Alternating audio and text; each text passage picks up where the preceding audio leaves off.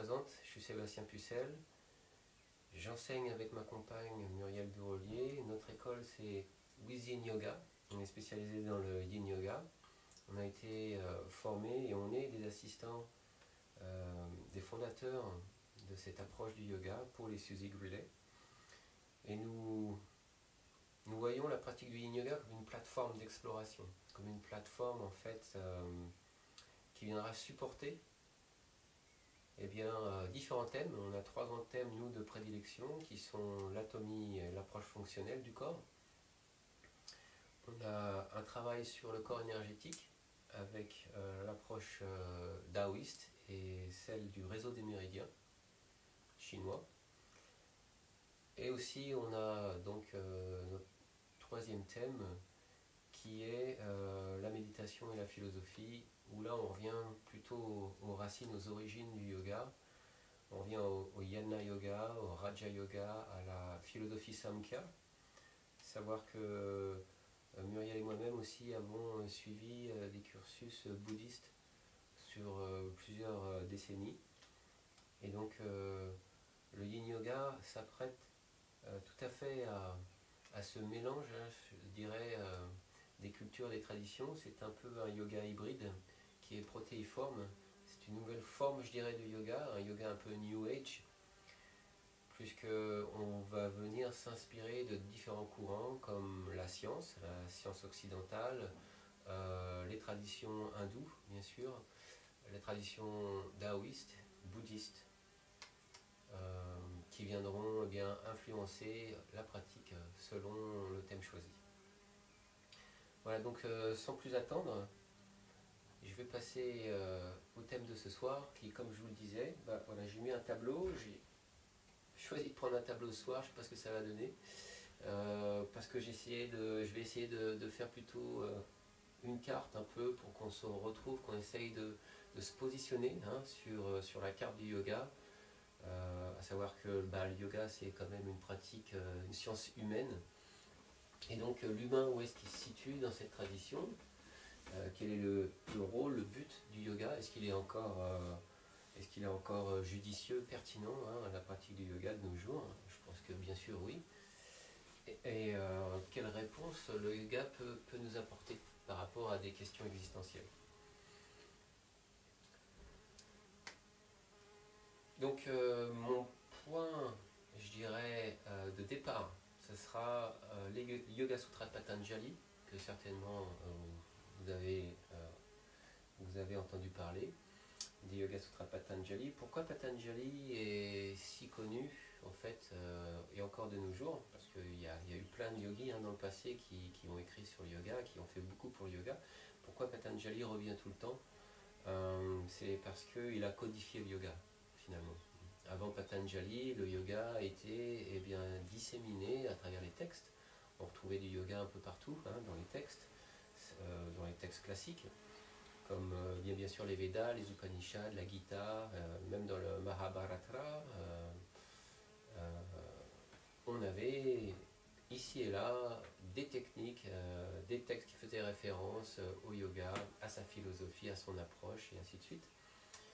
Et Patanjali, lui, a codifié tout ça. Il a systématisé en fait le yoga avec un des grands systèmes qu'on connaît qui sont les huit membres hein, de Patanjali, sont Yama asana, pranayama, pratyahara, dharana, dhyana, samadhi.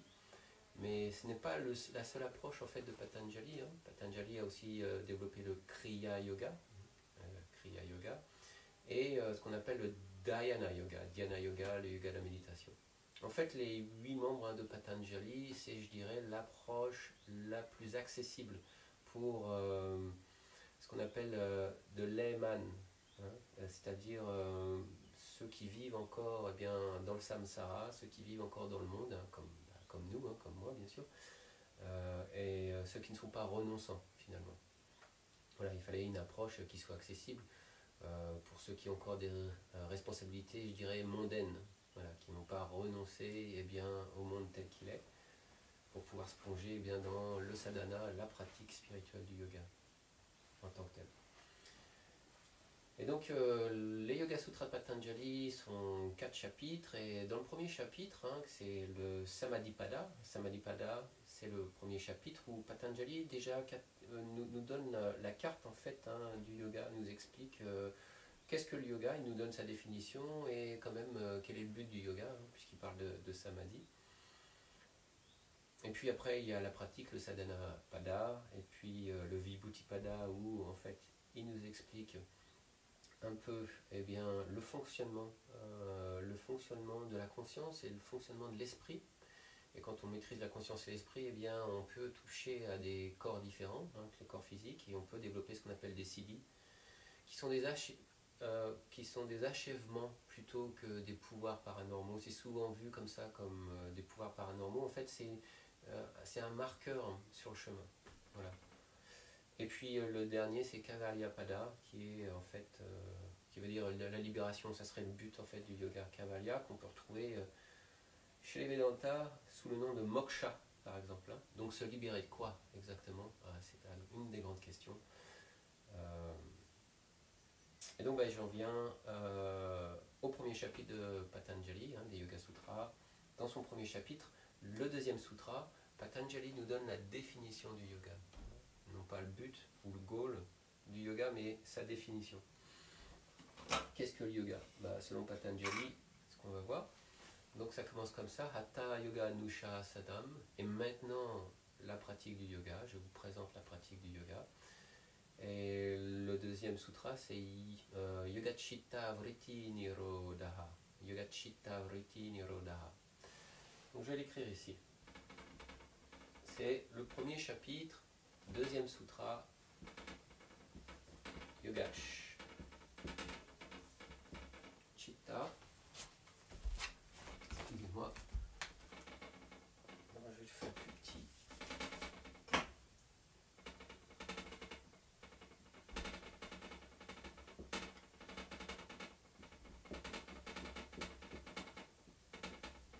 Vritti Nirodha.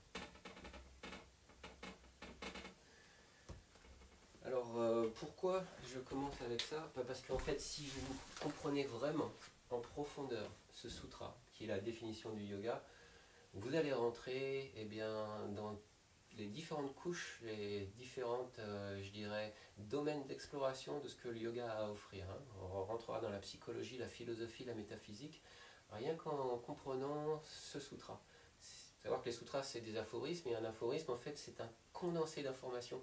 On a essayé de condenser le plus d'informations dans, eh bien, c'est même pas des phrases, en fait, hein, puisque la plupart du temps, il n'y a pas de verbe, euh, dans un condensé, donc dans une phrase, sans verbe, du, coup, euh, essayer de faire passer euh, le plus d'informations, des informations très denses et très pointues la plupart du temps. Yoga Chitta Vritti Nirodha, qu'est-ce que ça veut dire? Ben, Ça veut dire le yoga. Chitta, on va voir ce que c'est. Chitta, généralement, c'est traduit par euh, le mental ou l'esprit.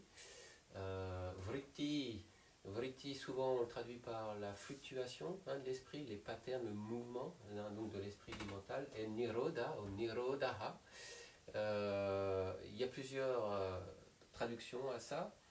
Et on va voir qu'il y en a qui sont meilleurs que d'autres, en fait. Hein, euh, Yoga Sutra Patanjali, c'est extrêmement ardu. Je ne sais pas si voilà, vous l'avez déjà ouvert, hein, cet ouvrage.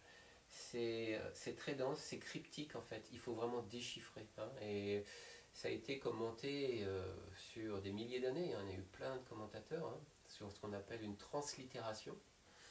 Et on peut voir qu'il y a différents courants. Savoir que la plupart des euh, commentateurs classiques viennent de la Vedanta.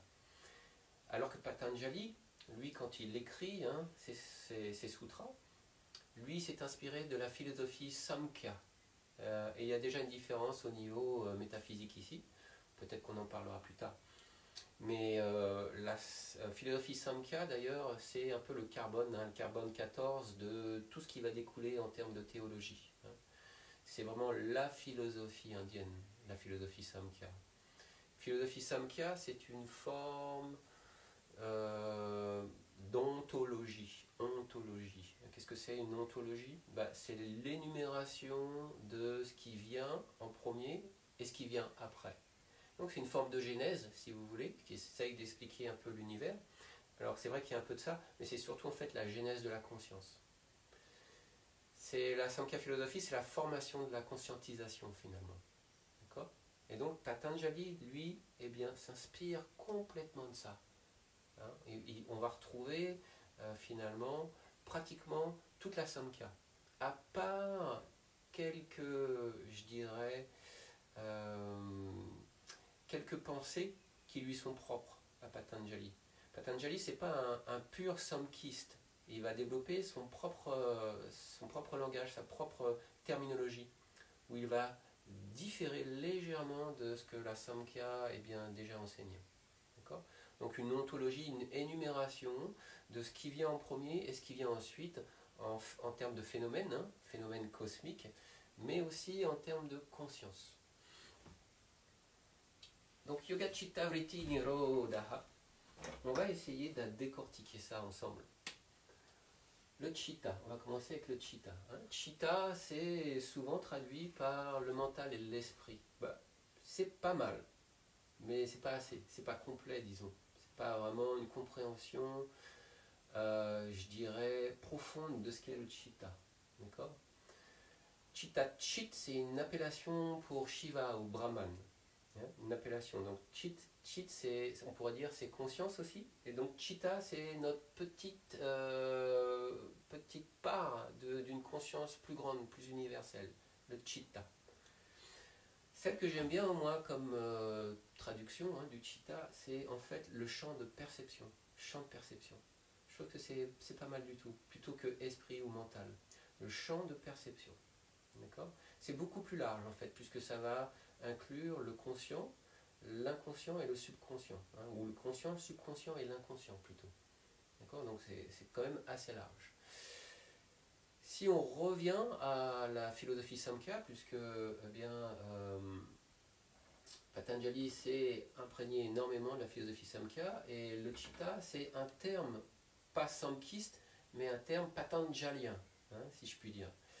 Mais on a l'équivalent en Samkhya. Et en Samkhya, ça s'appelle le Mahatattva. Mahatattva, le grand principe. Hein. Euh, plus tard, comme dans la Vedanta, ils vont aussi développer leur propre langage sanskrit. Ils vont appeler ça les antakarana, c'est-à-dire les éléments subtils. Et donc, qu'est-ce que c'est euh, le chitta? Eh bien, le chitta, c'est différents compartiments, compartiments, pardon, différents compartiments de la psyché d'un être humain. Donc euh, je vais faire un petit rond ici. Hein, imaginez eh bien, que ce rond, c'est les différents compartiments de la psyché. Ça, c'est notre chitta. Ça, c'est notre chitta. D'accord? Le chitta, en fait, c'est un container. C'est un container énorme, énorme. D'accord? Et à l'intérieur de ce container, il y aura des compartiments. Un des compartiments, euh, c'est ce qu'on appelle le bouddhi. Le bouddhi, par exemple. Hein? C'est un des compartiments. Le bouddhi, eh bien, ça vient de la même racine que le Bouddha. Et euh, le bouddhi, c'est l'intelligence liée à la réflexion, à la discrimination. On peut l'appeler aussi, en fait, euh, l'esprit supérieur ou le mental supérieur. C'est ce qui va nous permettre de discerner les choses. D'accord? C'est le mental supérieur, et il a cette qualité intrinsèque. Hein. Le bouddhi, c'est euh, ce qu'on appelle viveka en sanskrit, c'est cette habilité de discriminer et de discerner les choses. Et ça, c'est une qualité, ce qu'on appellera une qualité sattvique. C'est une forme, euh, je dirais, euh, plus pure, plus lumineuse de l'esprit. D'accord? Bouddhi. Et puis, on a l'ahamkara. Ahamkara. Ahamkara. Ahamkara, eh bien, c'est euh, l'ego, finalement. Hein, c'est l'ego. C'est l'individualité. Et puis, euh, si on regarde encore le sanskrit, kara et la racine kr, ça vient aussi de karma. Et donc, il y a une action derrière, hein, puisque karma, ça veut dire action. karma. Ahamkara. Et Hamkara, c'est celui qui va créer de la séparation. D'accord? C'est cette espèce eh bien, d'individualité que l'on se construit. On se la construit en fait, l'individualité. Hein. On peut aussi la déconstruire, bien sûr. Euh, bah, c'est l'ego, hein, c'est la personnalité en fait hein, de la personne, c'est ce à quoi on va s'identifier en fait. Voilà, c'est ça. Forme d'identification que l'on a, euh, on en a tous besoin. Souvent, on essaye, euh, bien en spiritualité, on dit souvent il faut, il faut éradiquer Hein, il faut éradiquer euh, l'ego, il faut, couper l'ego, il faut détruire l'ego. Pas vraiment en fait. Il faut juste le mettre à la bonne place. Puisqu'on a besoin d'une forme d'identification pour euh, pouvoir interagir avec l'univers qui nous entoure, avec le monde qui nous entoure. Voilà, tout simplement. Sauf que le problème est de croire que l'on est euh, cette identification. Et là, là, ça pose problème du coup pour la spiritualité, euh, pour ce qu'on appelle l'épistémologie, hein, euh, la connaissance, euh, la vérité, la réalité, puisque nous ne sommes pas cette fabrication mentale, cette individualité, cette personnalité, qui toutefois nous est donnée à la naissance, hein, puisqu'on est conditionné par rapport à la naissance, par rapport à bah, le lieu de naissance, la famille de naissance, la culture dans laquelle on baigne, l'éducation que l'on va traverser, et ainsi de suite. Il y a énormément de paramètres, hein, de variables qui vont nous aider à nous construire cette individualité et cette personnalité. Voilà. Le problème, c'est que euh, nous ne sommes pas ça, en fait. Et donc, un gros travail du yoga, du point de vue de la connaissance, c'est de pouvoir se séparer de cette identification, de pouvoir la démasquer. Hein. Donc, plutôt que de détruire l'ego, c'est plutôt démasquer l'ego et le mettre à la bonne place. Le troisième compartiment, ça sera ce qu'on appelle manas. Manas. Alors manas, littéralement, ça va dire mental en fait, mind en anglais. Donc c'est mental. C'est plus le côté un peu mécanique hein, euh, de, l'esprit du coup. Manas, euh, il sera souvent opposé au buddhi. Buddhi, c'est l'esprit supérieur ou le mental supérieur. Manas, ça sera donc celui qui sera inférieur.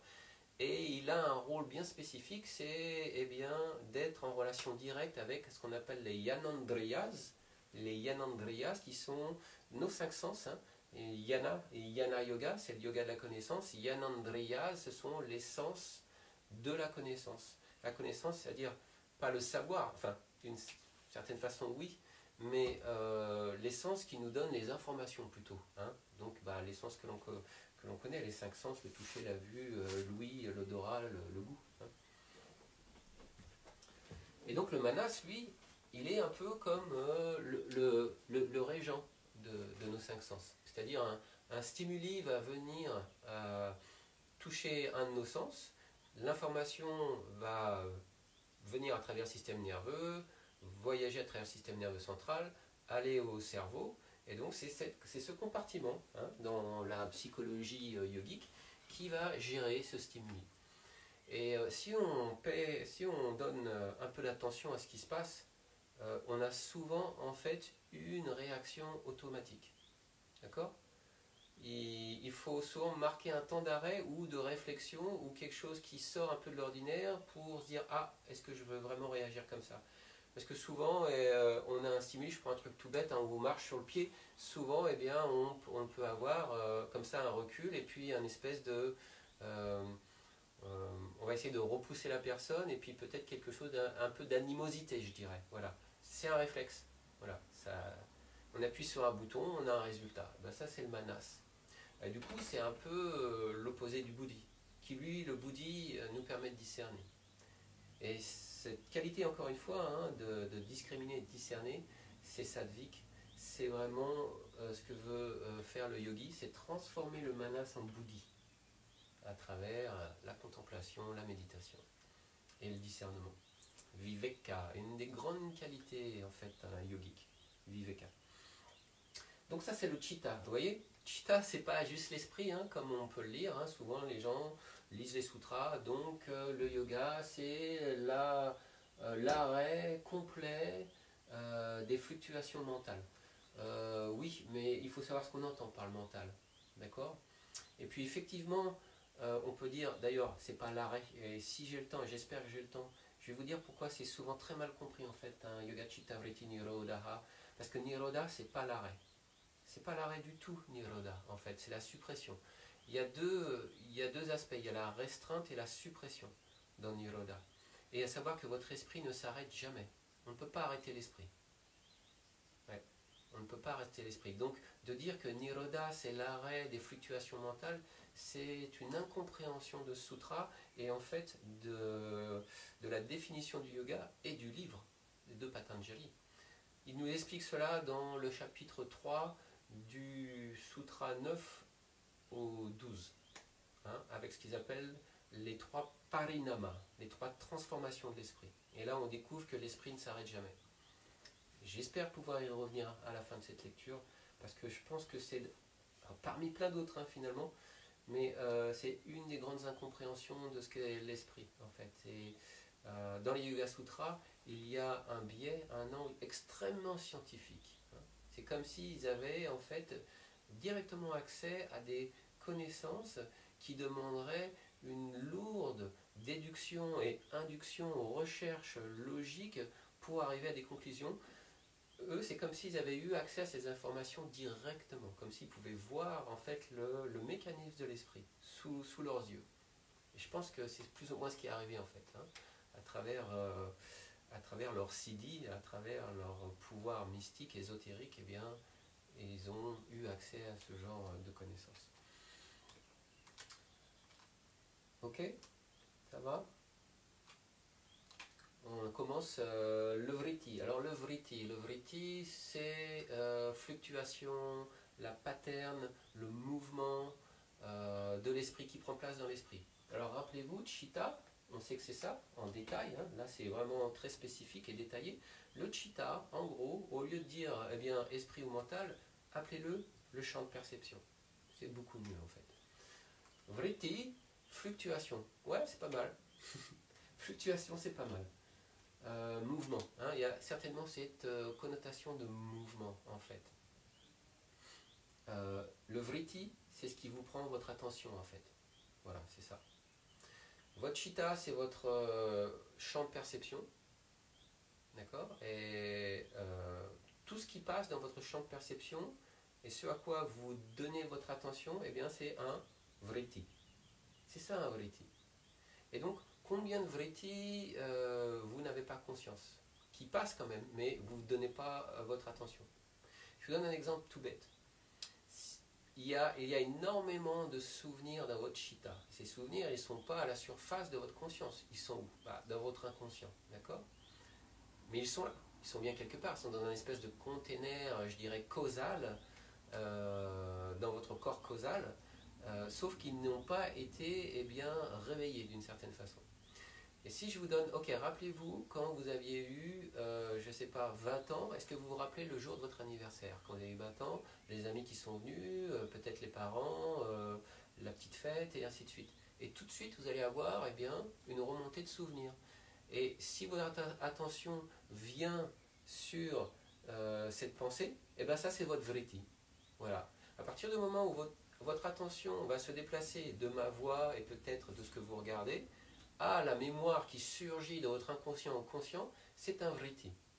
Et donc, si vous portez votre attention sur eh bien, le poids de votre t-shirt sur la peau, c'est votre vritti. Si vous portez votre attention sur un souvenir qui vient bien, bien sûr du passé, c'est un vritti. Si vous imaginez ce que vous allez faire demain et votre attention va là, c'est votre vritti. Et ainsi de suite. Les vrittis, ça peut être quelque chose d'extrêmement trivial, comme eh bien l'attention qui est prise par une mouche hein, qui rentre dans la pièce, et ça peut être aussi euh, l'attention qui est prise par une expérience mystique, comme une décorporation, une projection astrale, et ainsi de suite. Donc vous voyez les vrittis, mais c'est extrêmement large. Les vrittis en soi, c'est pas mauvais. Les vrittis, c'est ce que c'est. C'est-à-dire, c'est une pensée qui va venir vous prendre votre attention. Et d'ailleurs, la racine du mot vritti, vrit, en anglais, ils vont dire introverte, et vrille peut-être en français, eh bien vritti, ça veut dire tourbillon tourbillon. Hein. tourbillon comme le tourbillon euh, d'une baignoire qui est remplie, et on, enlèverait eh bien, le bouchon, et l'eau serait aspirée par le trou. Et donc ça fait un, un tourbillon. Et eh bien c'est ça un vritti. Un vritti, il y a venir aspirer votre attention. C'est ça. Vritti. Yogachita vritti nirodha vashtanam. Euh, donc si on contrôle les vritti, on aura une expérience mystique qui sera eh bien, le témoin, le sir, drashtu, c'est le, le c'est-à-dire le témoin, celui qui voit, la conscience, atman si vous voulez, eh bien, va venir s'établir dans sa nature. Voilà, ça c'est une grande promesse. C'est pareil, il y a énormément à ouvrir ici. Euh, le donc je vous disais, c'est ce qui prend votre attention, le. Et Patanjali, on a répertorié 5. Il en a répertorié 5. Hein. C'est-à-dire qu'on a 5 grands courants de pensée. Et dans ces 5, le premier serait peut-être le plus important. Le plus important pour le yoga en tout cas. Hein. Euh, on a Pramana. Pramana, en fait, c'est l'information correcte. Pramana. Viparyaya, eh bien, ce sont euh, des erreurs. C'est-à-dire, on va croire quelque chose qui n'est pas vrai. Vikalpa, c'est l'imagination. En fait, c'est le vritti le plus utilisé. La plupart des gens, sans s'en rendre compte, sont tout le temps dans leur imagination. C'est-à-dire, à chaque fois que vous allez échafauder un scénario ou un plan pour essayer de deviner ce qui va se passer, et ça on le fait tout le temps, sans arrêt, c'est Vikalpa. Vikalpa. Hein? Je ne sais pas, vous avez un rendez-vous demain, et eh bien vous essayez d'imaginer comment le rendez-vous va se passer, comment sera la personne, qu'est-ce que vous allez porter comme vêtements, comment vous allez y aller, et ainsi de suite. Ça, vous vicalpez. vous vicalpez. Vous partez dans des scénarios plausibles ou impossibles. Et c'est le vritti le plus utilisé finalement. Et donc notre énergie, hein, notre prana, notre conscience est happée dans ces espèces de multitudes de pensées tout le temps à élaborer des choses qui, la plupart du temps, ne bah, se passent jamais finalement. Donc pramana, l'information correcte. Et puis je vais ouvrir ça puisqu'il y en a trois dedans. Euh, viparaya, eh bien c'est l'erreur. Euh, c'est une erreur, c'est euh, peut-être euh, des croyances que l'on a qui nous ont été inculquées par rapport à notre culture et c'est une erreur. Par exemple, un truc tout bête hein, qu'on voit partout, les gens qui sont racistes, par exemple sur quelles données euh, ils ont pour dire que tout, euh, un groupe de personnes, hein, toute, euh, toute une race est mauvaise. Et donc ils ne veulent rien avoir à faire avec ces gens-là. C'est basé sur quoi? Il, faut, retourner dans la pensée. D'où est-ce qu'elle vient cette pensée? Et c'est là où c'est un travail en fait psychologique. En yoga, ça, ça s'appelle pratiprasava. Pratiprasava, retourner à l'origine retourner à l'origine de la pensée. Pourquoi je suis raciste Pas moi, hein. mais pourquoi une personne serait raciste? Et donc, si elle avait un minimum, je dirais, d'intégrité, elle se pourrait se poser la question hmm, intégrité mentale, intellectuelle, d'où me vient cette idée? Ah, mais c'est vrai que eh bien, je suis né quand même dans une famille où on m'a toujours dit ce genre de choses. Donc ça m'a influencé. Ok. Mais où est-ce que moi je me suis construit? Où est-ce que j'ai accepté cette idée et que je l'ai intégrée dans, ma, dans mon inclinaison de vie? Hein, à un moment donné. Peut-être que j'ai eu une mauvaise expérience, mais est-ce que c'était une expérience ponctuelle? Est-ce que ça veut dire que euh, chaque personne de couleur ou avec qui j'ai eu cette expérience est la même? Non. Et donc on voit que bien que petit à petit on peut complètement désamorcer la chose, on peut la déconstruire, on peut la disséquer pour se rendre compte que c'est basé sur un viparyaya, une erreur de conception. D'accord? Vikalpa, c'est l'imagination. Nidra, Nidra c'est le sommeil en fait. Et celui-là, il est particulier, hein, le sommeil, Nidra, on se demande pourquoi c'est un pensée, parce que en fait, la conscience ne s'arrête jamais. La conscience ne s'arrête jamais. Et donc même quand on dort, la conscience continue. Ça va dépendre en fait si, si vous arrivez à suivre le cheminement de votre conscience. Donc on dit, bah, quand on dort, est-ce que tu t'es rappelé de tes rêves? Si oui, ça veut dire bien que vous avez eu conscience de ce qui s'est passé quelque chose lorsque, vous euh, dormez. D'accord? Le fait de se réveiller et de dire j'ai bien dormi ou j'ai mal dormi, c'est bien qu'on a un souvenir de ce qui s'est passé dans la nuit. Donc vous voyez bien que la conscience continue. Pourquoi Patanjali met ça ici? Bah, Parce que Patanjali explore la conscience dans toutes ses facettes. Toutes ses facettes. Et la conscience ne s'arrête jamais. Hein? Dans le yoga, la conscience, même au moment de la mort, ne s'arrête pas, elle continue. Elle continue après dans le monde astral avec un corps astral, et puis derrière il y a un autre monde, le corps causal, dans le monde causal, et ainsi de suite. C'est une exploration de la conscience. Et donc Nidra, pourquoi Patanjali met ça ici? Parce qu'on peut avoir euh, des souvenirs du sommeil et donc souvenirs de l'état de conscience qu'on était quand on était déconscientisé du corps. Puisque la conscience, ici, quand je vous parle et si vous m'écoutez, vous êtes ce qu'on appelle euh, branché sur votre système nerveux sympathique. Hein. C'est-à-dire que votre système nerveux sympathique, il est branché sur vos cinq sens. Vos cinq sens entendent le son de ma voix, forment des pensées par rapport aux informations que je vous donne, et vous êtes donc en cogitation, vous êtes euh, conscient de ce qui se passe. Quand on dort, on passe du système nerveux euh, sympathique oui, au système nerveux parasympathique à l'inconscience. Et on se dit, bah, là j'ai plus conscience. Mais votre conscience ne s'arrête pas, c'est juste que en fait la conscience se retire du corps physique pour partir autre part. Et euh, c'est très précis hein, dans le yoga, elle part dans le corps astral pour naviguer dans le monde astral. C'est le monde des rêves, mais c'est le monde des émotions aussi. Et d'ailleurs, vous pouvez être lucide hein, dans un rêve. Vous pouvez être lucide, vous allez avoir des rêves lucides, c'est-à-dire vous êtes complètement conscient de ce que euh, du monde astral dans lequel vous évoluez, et du coup, eh bien, créer le monde par votre pensée. D'ailleurs, c'est un euh, des grands traits, je dirais, euh, principes du monde astral, c'est que votre pensée et vos émotions se manifestent. Et donc, dans le monde astral, il faut faire très attention à ce que vous pensez et ce que vous ressentez. Hein. et donc, c'est comme si on était dans un rêve, et chaque émotion, chaque pensée devient votre réalité. Et ainsi de suite. Et donc pour le yoga, c'est extrêmement intéressant puisque le yoga va chercher à faire euh, ce passage du monde physique au monde astral, du corps physique au corps astral de façon consciente, à travers la manipulation du prana et à travers la, euh, la méditation, hein, la, maîtrise euh, du flux mental, de la volition mentale en fait. Méditation et ainsi de suite. Donc j'en étais où? Ouais, j'en étais au Riti. Riti, il y en a cinq. Hein. Pramana, information correcte. Viparaya, euh, erreur. Vikalpa, imagination. Nidra, sommeil. Et le dernier, c'est Smirti.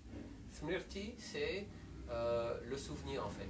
C'est le souvenir. Hein. On se rappelle de quelque chose. Comme je vous donnais euh, l'exemple. Hein. Rappelez-vous quand vous aviez 20 ans, le jour de votre anniversaire, et ainsi de suite. Et donc la mémoire va se, décrocher hein, de, de, l'inconscient, revenir à la surface et elle va venir comme ça, cette mémoire, s'ouvrir et vous offrir eh bien, euh, tout, finalement toutes ces sensations qui viennent du passé qui ont été stockées dans votre inconscient. Patanjali va plus loin, hein, Yoga Chitta Vritti Nirodha Tada Drashtus Varupe Vashtanam. Et puis il va plus loin en parlant après des vritti, panchataya, vritaya, panchataya, donc il y en a cinq. Et il parle de klishta à klishta. Les vritti peuvent être klishta à klishta. Ça veut dire quoi? Bah, Ça veut dire que les vritti, ils peuvent être euh, bénéfiques ou ils peuvent, euh, être, ils, peuvent travailler à votre détriment. Klishta à klishta. Qu'est-ce que ça veut dire bénéfique? Bah, Bénéfique pourquoi d'abord? Bah, Bénéfique en fait pour Kavalya, pour Samadhi. C'est ça le but hein, en fait de, Patanjali, hein, du yoga. C'est euh, d'avoir cette réalisation qui est Samadhi. Kevalya, la libération. Et donc, euh, tous ces vritti, à part peut-être Viparya, peuvent vous aider. Et c'est pour ça qu'il dit il va falloir discerner. Il va falloir discerner entre ceux que vous voulez garder et ceux dont vous, voulez vous débarrasser. En fait, ce n'est pas vous débarrasser, ceux que vous n'avez pas alimentés. Et si vous arrêtez de les alimenter, eh bien, ils, se, meurent, tout simplement. Pour qu'une pensée puisse être vivante, il faut lui donner notre attention. Elle se nourrit de notre attention. Et donc, euh, klishta klishta, ça veut dire, hey, il va falloir commencer à discerner entre vos pensées, celles que vous voulez garder et celles que vous vous laissez continuer et puis euh, s'éteindre tout doucement.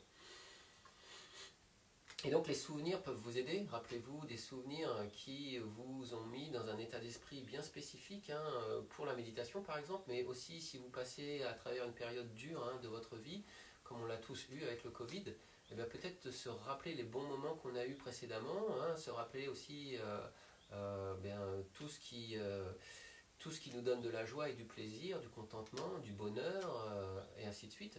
Bah, c'est des souvenirs qu'on peut ramener. C'est aussi des pratiques en fait hein, de yoga.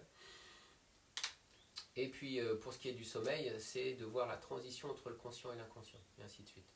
Donc ça c'est vos vritti. Voilà, j'ai quand même pas mal ouvert. Je sais pas si vous voulez que je les écrive. Hein. toute façon, vous pouvez les retrouver un peu partout. Tapez les 5 vritti et ils vont venir comme ça. Euh, ouais, j'ai oublié, dans le premier, donc Pramana, la connaissance correcte, il, s'ouvre celui-ci. C'est comme s'il s'ouvrait pour nous donner eh bien, trois exemples. Qu'est-ce que c'est la connaissance correcte? Pourquoi c'est très important? C'est important parce que la connaissance correcte, c'est ce qui va nous permettre de progresser spirituellement. D'accord?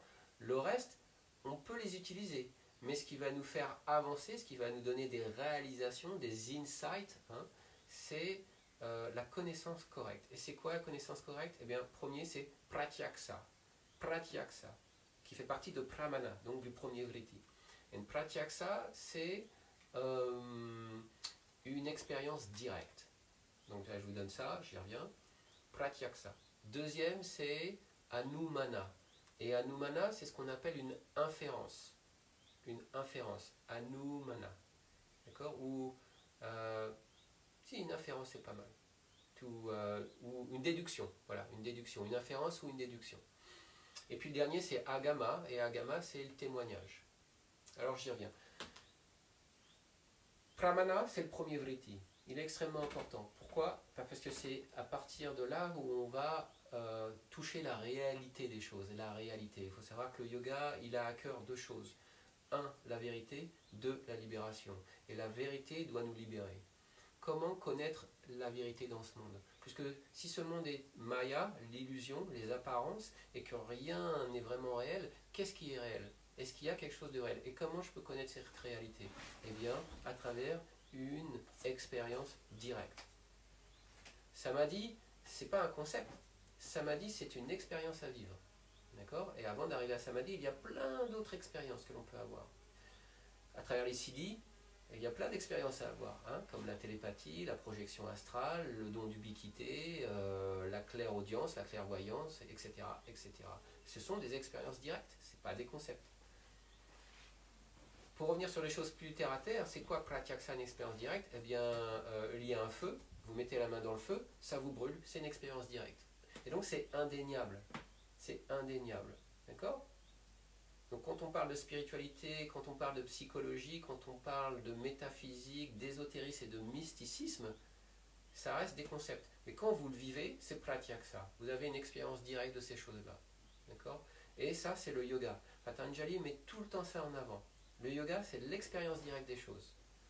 Même si avant d'arriver là, il va falloir eh euh, travailler énormément, peut-être lire, peut-être passer sur le deuxième qui est une, déduction, hein, ce qu'on appelle une inférence. Le deuxième c'est anumana. C'est quoi une inférence ou une déduction? Si je reprends mon, euh, exemple du feu, euh, vous voyez au loin de la fumée. Donc vous pouvez en déduire qu'il y a un feu. Pourquoi bah, Parce que vous n'avez jamais vu de feu sans fumée. Voilà. Vous avez plutôt jamais vu de fumée sans feu. C'est ce qu'on appelle une déduction par rapport à une expérience passée qui s'est euh, passée euh, maintes et maintes fois, vous pouvez en déduire que si vous voyez de la fumée dans la forêt au loin, il y a certainement un feu. C'est ce qu'on appelle aussi euh, une information correcte, le pramana. Et le dernier, le témoignage, agama. Eh bien, agama, c'est le, témoignage, c'est en anglais ils disent testimony, c'est-à-dire que sur des sources viables et sûres, vous allez connaître une forme de vérité. Par exemple, lire eh bien, euh, les écrits sacrés, hein, lire les livres classiques du yoga sont des témoignages de gens qui ont eu des expériences. Ils ne vous parlent pas de choses ou de concepts.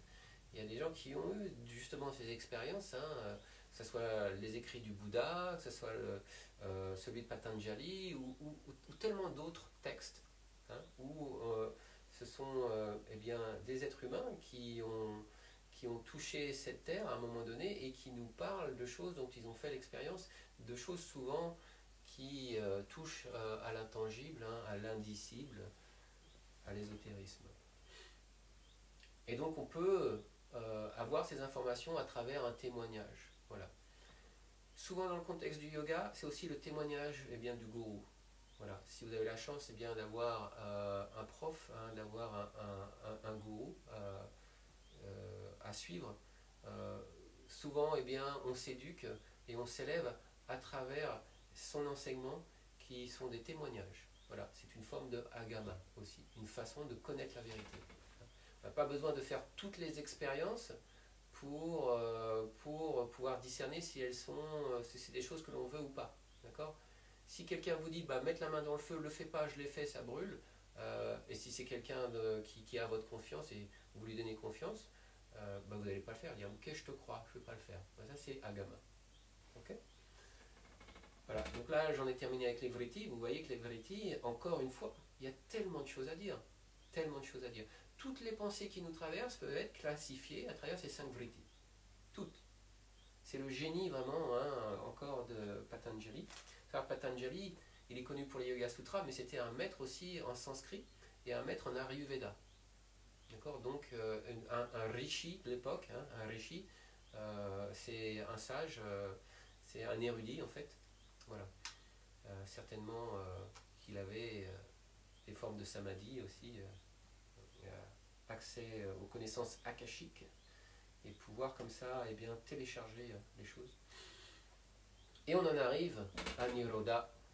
Et Niroda, c'est un gros morceau. C'est vraiment un gros morceau, puisque Niroda, c'est finalement la pratique elle-même. Alors je répète, souvent on comprend Yoga Chitta Vritti Nirodaha par le yoga, c'est la cessation des fluctuations mentales. C'est une compréhension vraiment en surface de ce que c'est. C'est pas forcément mauvais, c'est pas forcément une erreur, mais on, est loin du produit final en fait. Hein. Ça suffit pas de dire que c'est ça en fait. Il faut, rentrer. Il faut rentrer dans le sanskrit, il faut rentrer dans le sutra, il faut l'éplucher, il faut le décortiquer, il faut le disséquer et rentrer dans la pensée hein, de, l'auteur. Niroda. Euh, Niroda, moi je. Ah, voilà, souvent vous allez trouver arrêt, arrêter, euh, euh, supprimer, stopper, éradiquer. Moi je préfère canaliser et restreindre trouve que ça va beaucoup mieux en fait. Canaliser et restreindre. Euh, canaliser et restreindre tous les vritti, sauf celui de la méditation. D'accord? Tous les vritti, autres que le seul vritti stable concernant l'objet de votre méditation, concernant l'objet de, concentration. C'est ça le klishta klishta. C'est pas euh, j'arrête complètement de penser, d'ailleurs c'est impossible, encore une fois c'est impossible. Votre esprit ne s'arrête jamais, pourquoi votre esprit ne s'arrête jamais? Voilà, c'est un grand sujet ça. Parce que euh, tout est en intermittence. Tout fluctue. Et l'esprit fluctue tout le temps. Et donc, euh, l'esprit ne peut pas s'arrêter. Il fluctue. Et euh, on se concentre, en fait, on médite et on se concentre et on arrive à maintenir eh bien, une pensée d'arrêt. Mais cette pensée d'arrêt, d'arrêt, pardon, elle vient, elle s'exprime et elle s'arrête. Et donc, il y en a une deuxième qui vient. Et ça se passe à une telle vitesse, ça s'appelle Ksana, hein, le Ksana Niroda, le moment d'arrêt. Eh bien, ils viennent comme ça les uns après les autres. C'est un peu, si vous voulez, l'analogie euh, du cinéma. Donc, euh, l'écran blanc, c'est votre conscience. Le projecteur, eh bien, c'est, euh, je dirais, le mécanisme mental. Et puis la lumière, c'est votre pensée dirigée. D'accord? Et la pellicule qui passe à travers, c'est ce qu'on appelle un pratyaya. Le pratyaya, c'est le contenu de la pensée. Le contenu de la pensée. Et donc, euh, si vous regardez un film au cinéma, euh, vous ne vous, rendez pas compte. Et on a l'impression que c'est un, euh, comme ça, une, des images continues qui nous donnent cette impression de continuité. Et ça, c'est une illusion. En fait, l'image, il y en a 24 par seconde. Il y a 24 images par seconde. Et comme ça va très très vite, notre cerveau, il n'a pas le temps de voir les différentes images une après les autres. Mais si vous regardez une bobine de film, ça n'existe plus, hein, c'est digital maintenant, mais à l'époque, eh bien, une bobine de film, c'était une image après l'autre, et on pouvait voir le mouvement peut-être de l'acteur. c'est la même chose. Le mental, c'est la même chose. Le mental, il fait qu'une seule chose à la fois. Et quand on a l'impression eh bien, d'être euh, multitasking, hein, de faire plein de choses à la fois, on fait juste une chose à la fois beaucoup plus vite. C'est tout. Et donc cette impression d'arrêter le mental, ça n'existe pas. Le mental ne peut pas euh, s'arrêter. Et tout ce qu'on peut faire, c'est canaliser nos pensées dans une direction pour avoir ce qu'on appelle un ksana niroda, une pensée d'arrêt qui va venir une après l'autre, une après l'autre, une après l'autre. Et comme ce moment, il, est très rapproché, très vite, cette intermittence, hein, ces intervalles sont très rapprochés, ça nous donne l'impression d'un stream comme ça, hein, d'une continuité. Ça s'appelle krama, une séquence en fait. Krama. Ksana, c'est le moment, krama, c'est la séquence. Et l'illusion, c'est la séquence, c'est de croire qu'il y a une continuité dans les pensées. Il n'y en a pas. Mais pour se rendre compte de ça, il va, dans la méditation, il faut se retirer de ça et pouvoir observer la formation de la volition de l'esprit et, la création de la pensée. Si vous êtes pris dans votre vritti, mais vous êtes loin de ça en fait. Vous êtes déjà pris hein, dans le mécanisme. Pourquoi on ne peut pas arrêter euh, son esprit? C'est autre chose. C'est là où c'est mal interprété. C'est pas l'arrêt de l'esprit, c'est la canalisation de l'esprit, c'est la désidentification. Il y a dans le yoga beaucoup de choses en fait à faire, c'est une séparation. On se sépare des choses. Et donc l'esprit continue, mais il continue d'une façon épurée, en laissant les vrittis de côté et en en maintenant un, un seul. Mais c'est pas juste un, il est immobile et il bouge pas. Non. Ça va être juste le même contenu de la même pensée qui vient encore, encore, encore et encore. C'est ce qui nous donne ce sentiment eh bien, de continuité dans la pensée. La pensée ne s'arrête jamais et n'est jamais continue. Ben moi, je vais continuer par contre. Donc Niroda, Niroda c'est beaucoup mieux compris par restreindre. Restreindre et canaliser. C'est vraiment ça Niroda en fait, c'est restreindre et canaliser. Sauf, euh, euh, on va pas on va pas se débarrasser en fait de l'alambana. Et c'est quoi l'alambana en méditation hein? L'alambana, eh bien c'est votre support. ça peut être n'importe quoi. Patanjali nous en donne pléthore d'alambana. Vous pouvez vous concentrer eh bien, sur les chakras, vous pouvez vous concentrer sur le cœur, vous pouvez vous concentrer sur la respiration, vous pouvez vous concentrer et ainsi de suite et ainsi de suite sur une flamme, une visualisation. Qui est important, c'est de se concentrer. C'est l'unicité de l'esprit. C'est ça en fait. Et euh, donc ça, c'est l'alambana. Et ça, c'est la pensée, le vritti, sur laquelle il ne va pas falloir, euh, je dirais, euh, supprimer. Il ne va pas falloir supprimer ou il ne va pas falloir se débarrasser. Au contraire, il va falloir mettre celui-ci en avant et se, débarrasser des autres, laisser les autres passer leur chemin. C'est ça, en fait, hein, le dharana dhyana samadhi. La concentration, ça commence par ça. Donc, niroda si je continue, Niroda, on a vu ici que, bah, voilà, Niroda, il y aura deux aspects à Niroda. Deux aspects. Hein. Dans Patanjali, il nous donne la définition de Niroda. Euh, Abhyasa varagabyam tan nirodaha. Abhyasa varagabyam tan nirodaha. C'est la définition de Niroda pour Patanjali. C'est quoi Niroda pour lui? Eh bien, c'est Abhyasa en Varaga. Abhyasa Varagabyam ça veut dire Abhyasa et Veraga ensemble, Tan Nirodaha, sont Niroda, sont la restreinte, sont le contrôle, sont la canalisation de quoi? Des fluctuations de l'esprit. Et ça, c'est le yoga. Et donc, il nous donne une définition très précise et complète de ce qu'est Niroda. et donc, on va ouvrir. Abhyasa. Abhyasa et ici Veraga.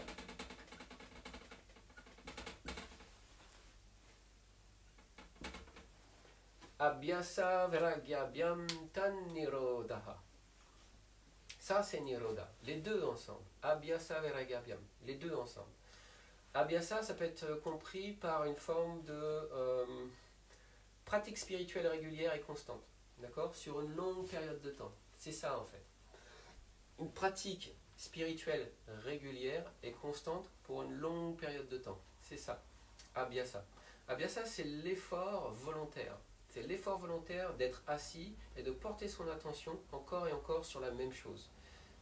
Euh, ça demande euh, beaucoup de détermination, beaucoup de diligence, hein, beaucoup d'engagement. C'est la partie, je dirais, un peu spartiate, hein, un peu euh, comme ça, disciplinaire un peu. Hein.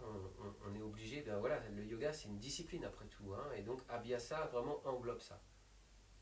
on voit ce, côté un peu du renonçant hein, et, qui, qui s'adonne à, une discipline spirituelle, le sadhana, hein, abhyasa. Abhyasa, c'est notre habileté à poser notre attention sur un alambana, un support pour une longue période de temps, sans disruption. Sans disruption. Et ça, c'est extrêmement important. C'est extrêmement important. Tout le monde peut essayer de méditer, euh, je ne sais pas moi, 5 minutes, 10 minutes, hein, une heure. Et ben, vous aurez le résultat de votre concentration. Essayez, je ne sais pas moi, 8 heures, 10 heures par jour pendant un mois, deux mois, trois mois. Alors on passe à autre chose en fait. On passe à autre chose. Parce que vous allez modifier en fait la volition de l'esprit. Vous allez modifier, vous allez altérer votre conscience par rapport à la direction que prend votre esprit. Ça c'est bien ça. Extrêmement important, c'est, je dirais, euh, la pratique centrale. Hmm? C'était une forme de discipline quand même interne. Waouh, ok, c'est passé très très vite. Euh, Veraga, Veraga, Veraga, c'est euh, sans raga. Raga, ça vient de raga. Et raga, c'est quoi? C'est les désirs, c'est le vouloir, c'est l'action. Hein. Raga, désir. Veraga, sans désir. Donc c'est une forme de dispassion, de renoncement. Veraga, non-attachement, renoncement au plaisir mondain, au plaisir du monde matériel, le renoncement au plaisir du monde matériel. Ça va plus loin que ça en fait. C'est pas juste euh, se détourner du monde. S'il suffisait de se détourner du monde, eh bien euh, tous les ermites hein, qui vivent, euh, je sais pas moi, dans le Cantal, en Ardèche, ils feraient du veraga. D'une certaine façon, c'est un peu vrai. Mais c'est pas le veraga du yogi.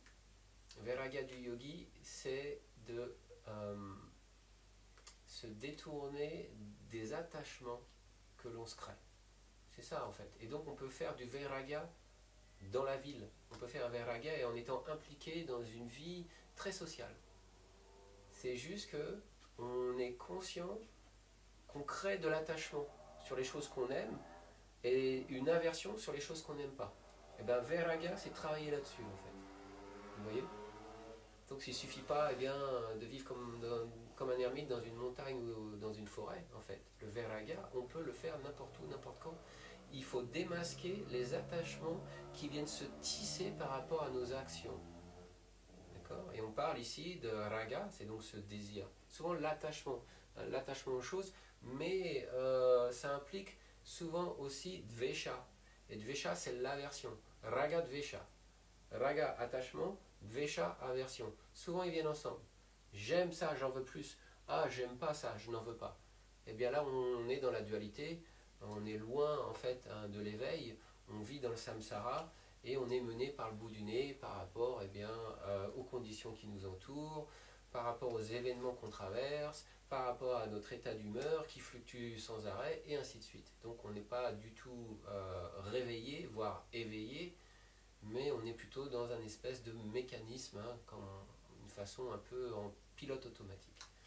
Et donc Viraga, c'est la deuxième partie de Niroda.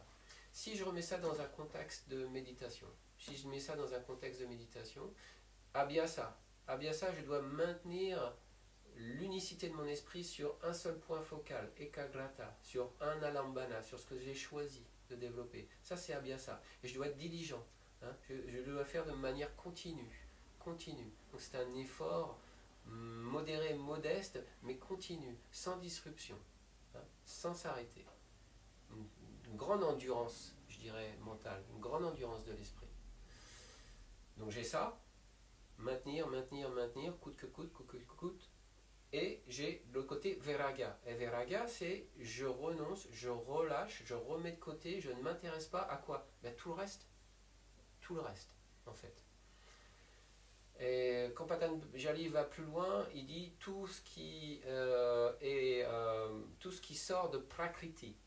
Voilà. Et en fait, vous voyez, euh, j'étais bien trop ambitieux. On a touché ici beaucoup la psychologie. Je voulais rentrer dans la philosophie la métaphysique. Ça ne sera pas possible. Mais voilà, on ne peut pas avancer trop vite non plus. Hein. C'est tellement dense, c'est tellement fouillé ce genre de choses. Et donc, euh, c'est tout ce que forme Prakriti. C'est quoi Prakriti? Prakriti, c'est la nature primordiale de la création. C'est le corps et l'esprit, Prakriti. Prakriti, c'est notre corps et notre esprit. Nous ne sommes pas le corps, nous ne sommes pas l'esprit, nous ne sommes pas la nature. Nous sommes une, nous sommes euh, une partie de ça, mais cette partie-là, eh bien, elle change tout le temps. Et on a une partie de nous qu'on appelle Purusha, la conscience, Purusha, la conscience ou l'individu autonome, la conscience autonome, c'est la conscience pure. Et nous sommes cette conscience pure. Et c'est ce vers quoi le yoga veut tendre. En discriminant, en, se, en séparant, eh bien, Prakriti de Purusha. Et donc, quand on parle de Vairaga, le détachement, on se détache de quoi? Bah, Petit à petit, on se détache de Prakriti, la nature.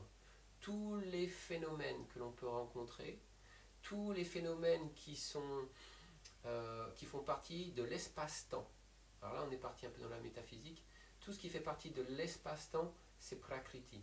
Et donc, ça fait partie de la Maya. La Maya, souvent, c'est traduit par illusion.